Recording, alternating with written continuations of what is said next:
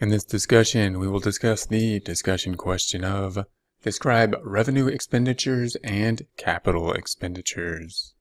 When considering the terms revenue expenditures and capital expenditures, we're thinking about them in terms of property, plant, and equipment. So what's the difference between a revenue expenditure and a capital expenditure when related to property, plant, and equipment? We're typically thinking about things that will either extend the useful life of the property, plant, and equipment or things that uh, will not, uh, meaning things that are typically going to be normal repairs. Uh, and that means that if something is a normal repair, we will write it off and expense it as an expense, increasing the expense, decreasing net income at the point in time we have the normal repair, as opposed to if we have a capital expenditure, which is going to be something that extends the useful life of the equipment, then we need to put it on the books as an asset, capitalizing it, and then uh, depreciating it over the useful life of that capital expenditure. So when thinking of something like property, plants, and equipment, or something like equipment, anything that would be a normal maintenance job, like, such as like an oil change or something like that, normal type of maintenance,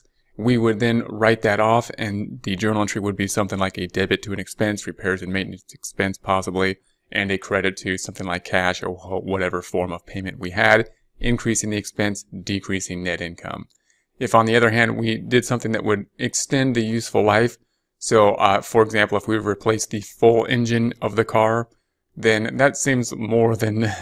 just a, a normal type of uh, repair, and therefore probably extends the life of the car and or changes the objective of